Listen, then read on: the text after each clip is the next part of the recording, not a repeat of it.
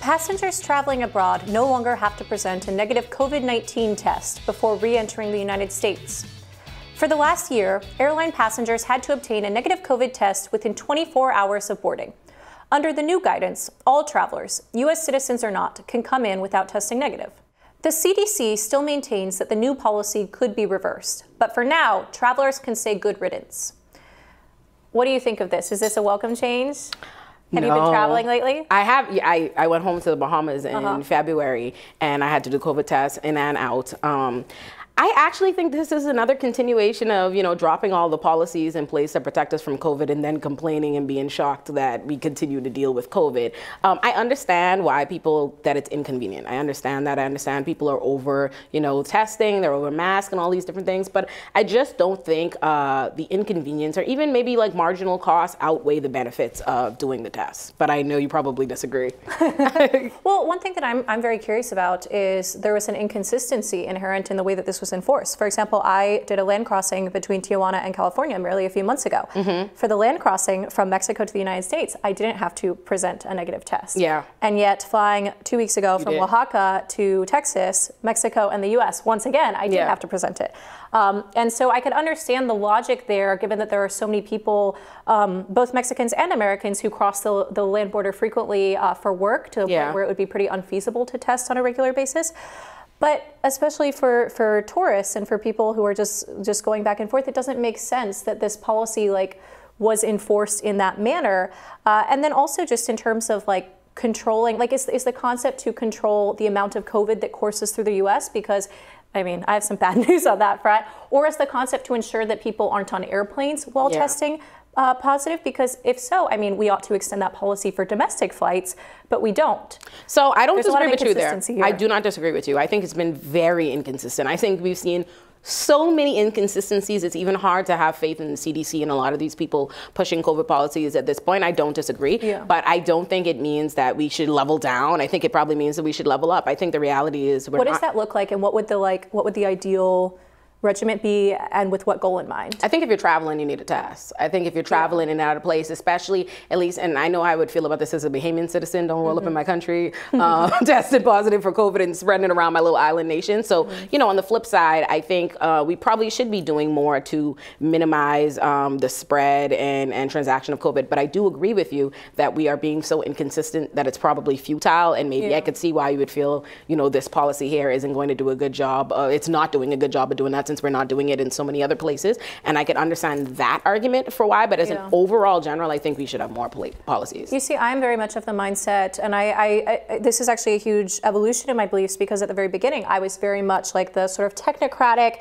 test, trace, isolate. The U.S. needs to build out a really strong testing capacity. Um, perhaps the government should even distribute high quality masks to, to yeah. people. That way, they're actually focused on mask quality.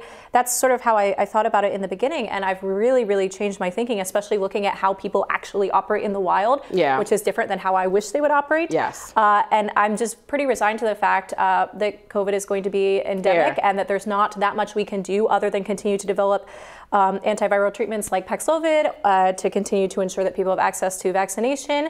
Uh, and then to try to make sure that our hospital capacity doesn't get overrun because really people need access to care. But other than that, this is going to be a seasonally circulating thing akin to the flu. And I'm not happy about it because it's yet another thing that can yeah. disrupt our lives and disrupts older people and, and the, the sick and infirm to a greater degree than it, you know, disrupts the rest of our lives. But Honestly, I agree with you. Point. I agree with you on a practical level. I honestly yeah. do. I get that, especially, and I have had some some laxing in my own views towards yeah. you know the COVID policies. I know um, maybe a few months ago, even on here, I was like, we're definitely getting another lockdown. We're gonna da da da da da, and I was like, ooh, didn't age well. I don't think we're getting a lockdown. I was like, I, I, don't think we're getting that lockdown. I don't see not because I don't think we should have, yeah. not because I don't think. Oh, uh, you would have been in favor of it. Yeah, I would have been in favor of really? uh, favor of another lockdown. Absolutely, yeah, absolutely. Um, and maybe it's because uh, I know you live between. Don't lock yourself down. I don't First of all. I absolutely I mean, I would. you to be locked absolutely down. would. I work in the public criminal court, so I absolutely would take another lockdown. Um, so I, I, I, don't disagree. I think at a practical level, um, you're right. But I do think if we continue laxing, right, we just continue yeah. dropping, dropping, dropping policies, and we keep seeing the numbers skyrocket, especially in a place like New York well, City. But they don't skyrocket. I mean, they're, they're but in New York, and they're cyclical in a way that doesn't perfectly correspond. That doesn't even correspond well to yeah. the lockdowns and to the pandemic suppression measures that we are taking on. Maybe in some places, but I know uh, in New York we have seen with every, you know, when Eric Adams first dropped the mask mandate, we saw our numbers quadruple. You know, we've seen. But we didn't see death toll correspond. We, we've seen deaths though. We're seeing, we're we, still we, seeing we a lot of deaths. We're still seeing some, a lot of hospital but cases. But we didn't see the death toll that we would have, if, like they're not well correlated. That's sort of the inconvenient truth of all of this.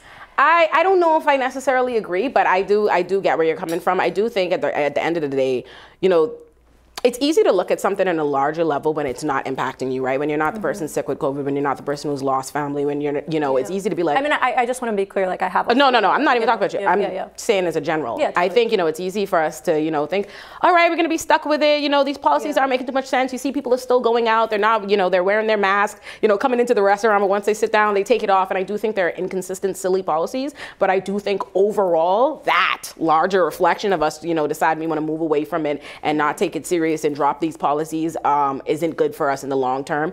But you know, what do I know? What do I know? I'm not a scientist, but I think that's a good point. Yeah. What you're saying is that there's like there's been a squandering of, of trust in our public health institutions, and that that does lead to them being sort of feckless and, and ineffective going yeah. forward. And so, what happens if we do have a strain that emerges that's you know twice as infectious or you know five times as severe?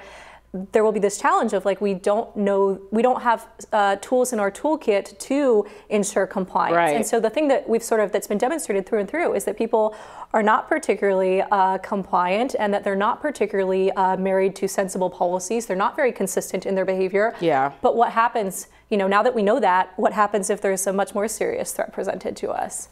I think that's a fair point. Yes. You're like yes. you're right. Yeah Okay, but at the same time, but at the same time, like I, with this specific thing, I mean, this this is going to be endemic. This is going to be something that we're dealing with for forever, probably. Uh, and the thing that will the thing yeah. that will change though is that we will have hopefully vaccines that will be um, strain specific, yeah. which will be wonderful. Um, and we're, we're also getting more and more uh, treatments for people who haven't gotten vaccinated which right. as much as i think so many people want to do the political point scoring and you know ridicule them yeah the fact of the matter is we don't want them to die like that would be really really good if they didn't die even if they made stupid choices like you know and so, and so ensuring that we have more and more medical technology that's there to, to render aid to them and to treat them is a really, really good thing. And that's, that's something fair. we're seeing a lot of. And the FDA has actually been moving a little bit faster on that. That's like, fair. That's fair. I think, I think, honestly, I think on the larger points, we definitely agree, right? I think, yeah. I think, I think people have rightfully lost a lot of trust, like I said, in the government and the CDC with this flip flop of policies. Um, and the FDA too, which really dragged its feet on a lot of the emergency use authorization. 100%, 100%. So, coming up, 31 accused white nationalists were arrested and charged with conspiracy to riot. We discuss their alleged plot with an advisor at the National LGBT Chamber of Commerce next.